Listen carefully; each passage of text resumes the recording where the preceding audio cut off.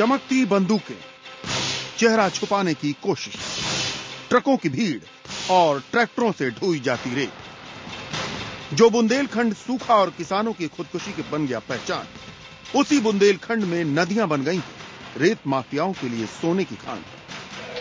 असलहों के बल पर डाली जा रही है डकैतियाँ। दिन में सरेआम हर रोज पड़ता रहा है डाका मोरंग और बालू बन गया है, माफियाओं के लिए टकसार सुप्रीम कोर्ट के आदेशों की उड़ रही है धज्जियाँ। मिट्टी, रेत और मोरम से उड़ रही है कानून की खिल्लियाँ माफियाओं की टकसार बुंदेलखंड की खान। नमस्कार, मैं हूँ आपके साथ हिमानी नैथानी। बुलेटिन की शुरुआत करेंगे उत्तर प्रदेश से। उत्तर प्रदेश इन दिनों अवैध खनन का सबसे बड़ा अड्डा बन गया है। जी हाँ, बुंदेलखंड में धड़ल्ले से अवैध खनन का काम जारी है। हैरानी की बात तो लेकिन यह है कि इस बात की जानकारी प्रशासन को भी है, लेकिन खनन माफिया के खिलाफ कोई कार्रवाई तक नहीं हो रही। सुप्रीम कोर्ट के आदेश के बावजूद गैर कानूनी तरीके से रोज़ाना करोड़ों की खुदाई की जा रही है। और आपको बता दें कि समूचे प्रदेश में किसी भी खनन कारोबारी के पास पर्यावरण का एनओसी है ही नहीं।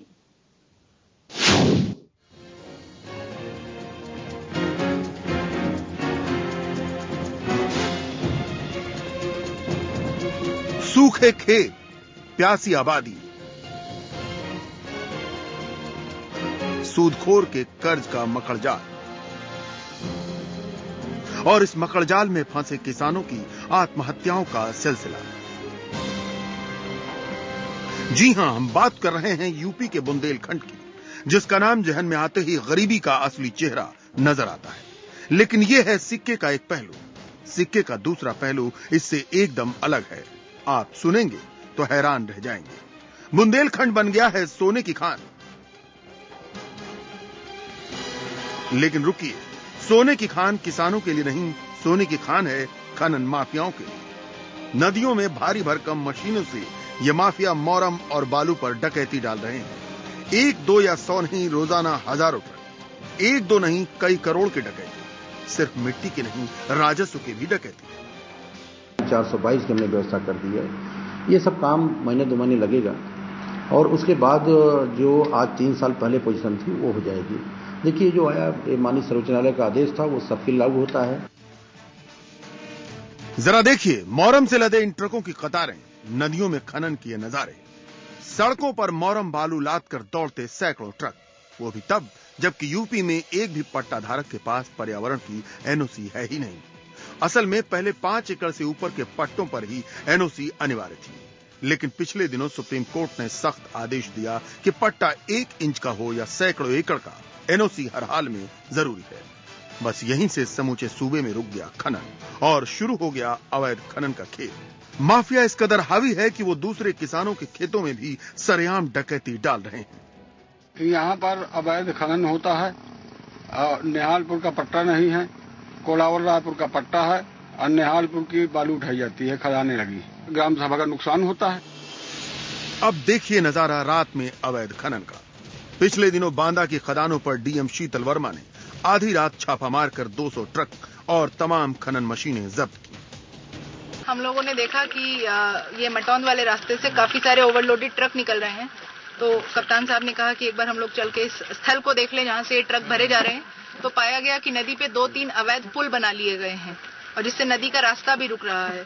तो हम लोग यही कोशिश कर रहे हैं कि जितने अवैध ट्रक पकड़े गए हैं इनका इनके ऊपर कार्यवाही की जाए यहाँ से लेके दुरेडी के चौक तक 200 से 250 ट्रक होंगे और दो पोकलैंड मशीनें भी हम, हम लोगों ने यहाँ पे रिकॉर्ड की हैं। सच्चाई तो ये है कि इन खनन माफियाओं के 200 से ज़्यादा ट्रक जो जब्त किए गए थे वो छोड़े जा चुके हैं। जो मुकदमे थे उन पर आज तक कोई कार्रवाई ही नहीं हुई। सब के सब चुप हैं। क्या प्रशासन, क्या शासन? पर खदानें फिर चालू हो चुकी हैं। और ये सबूत है माफियाओं की मज़बूत पकड़ का। और गवाह है सुप्रीम कोर्ट के आदेश तार तार करने का। नदियों के डकैतों ने साबित कर दिया है कि बुंदेलखंड कर्ज से कसमसाते किसानों की कब्रगाह नहीं, बल्कि सोने की खान है। खुलेआम लूट जारी है, लेकिन ना माफियाओं को सरकार की चिंता है, ना अफसरानों को सुप्रीम कोर्ट की फ़िक्र।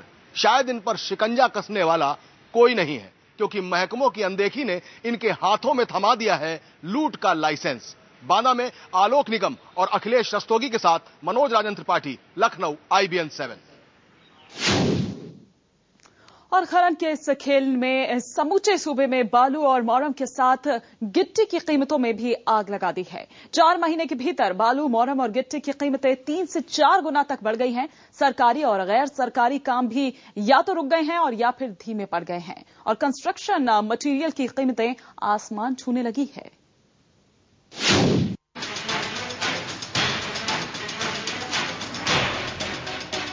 सब्ज़ी महँगी, दाल और चीनी महँगा। पेट्रोल, डीजल पर तो महँगाई की मार है ही।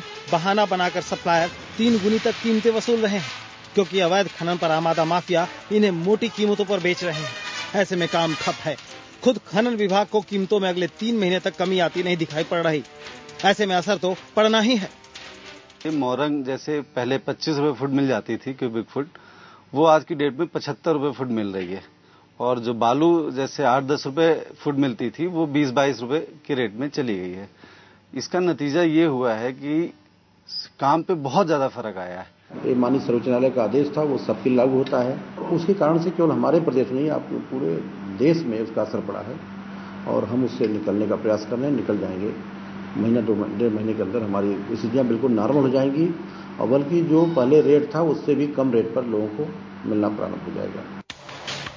बाराबंकी सहारनपुर बांदा चित्रकूट जालौन झांसी, सोनभद्र, मिर्जापुर, महोबा और ललितपुर जैसे एक दर्जन से ज़्यादा इलाकों में ये अवैध खनन जारी है।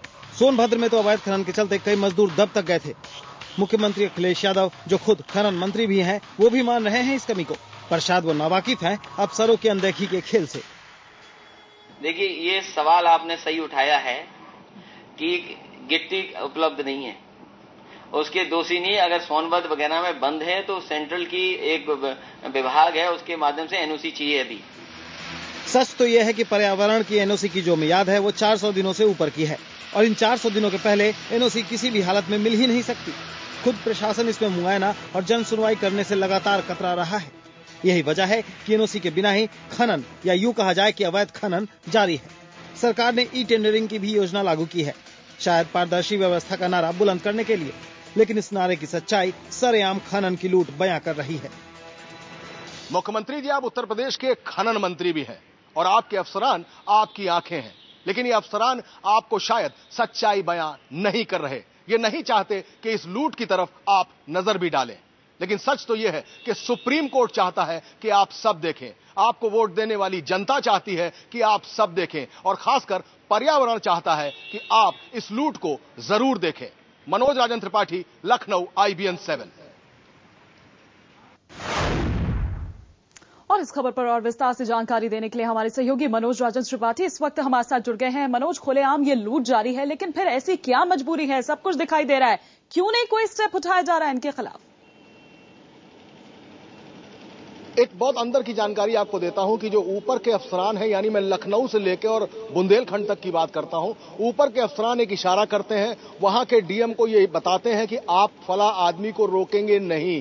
इन अफसरानों का एक कॉकस है जो ही पूरी तरीके से इस अवैध खनन को हरी झंडी दे चुका है, लेकिन मुख्यमंत्री के पास कम से कम खुद अपने पास दो दर्जन से ज़्यादा महकमे हैं। वो तमाम सारी चीज़ें सिर्फ़ अफसरानों की रिपोर्ट पर देखते हैं। उनको ये मालूम नहीं पड़ देने दिया जा रहा है कि किस तरीके से खदानों की लूट चल रही है, अवैध खनन चल रहा है। अगर सुप्रीम कोर्ट ने जवाब तलब कर दिया तो जवाब देना मुश्किल हो जाएगा। लेकिन इन खनन माफियाओं और अफसरानों का जो ये कॉकस है, इसको हरी झंडी दिए हुए है और खुलेआम लूट चल रही है, चाहे वो सोनभद्र हो, लेकिन बुंदेलखंड में सबसे ज़्यादा लूट चल रही है। वहाँ पर दूसरों के खेतों पर कब्जे करके लूट चल रही है। नब्बे दिन का एक टाइम दिया जाता है और उस उस टाइम में अवैध खनन चलता है, उसके बाद कुछ दिन बंद रखा जाता है, क्योंकि एक ब्लूप्रिंट बनाया गया है कि आप खनन इतने दिन में निपटा लीजिए, नब्बे दिन निपटा लीजिए, बीस दिन का गैप दीजिए और फिर शुरू कर दीजिए। ये एक तरीके से किया जा रहा है। शायद मुख्यमंत्री हमारी इस खबर से इस पूरी लूट का खेल देख सके और शायद कोई कार्रवाई इस पर आगे हो सके। हिमानी। बिल्कुल, हो सकता है कि कोई कार्रवाई इस पर हो सके, लेकिन मनोज, ऐसे कौन लोग इसमें शामिल हैं? ज़ाहिर तौर पर जो प्रशासन जो है कतरा रहा है, इस तरह का स्टेप उठाने के लिए। कब से ये पूरा जो मामला है चल रहा है?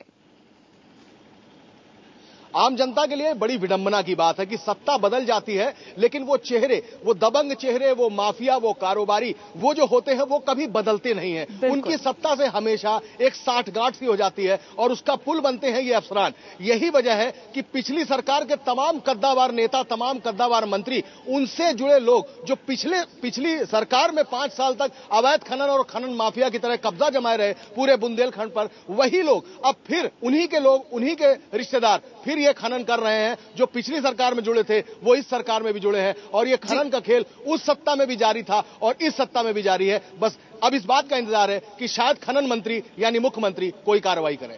बिल्कुल फ़िलहाल शुक्रिया मनोज इस तमाम जानकारी के लिए आपका।